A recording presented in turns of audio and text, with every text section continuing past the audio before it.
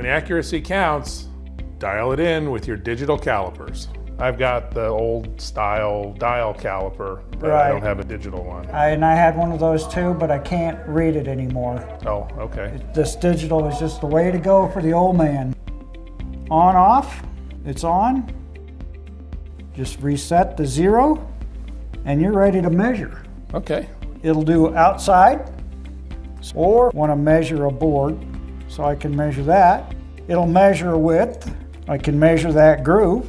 So if I want to know how deep that hole is, push it in, and there's the depth of my hole. If I wanted to know the length of that tenon, I can just set that down there, and it lets me know what the length of that tenon is.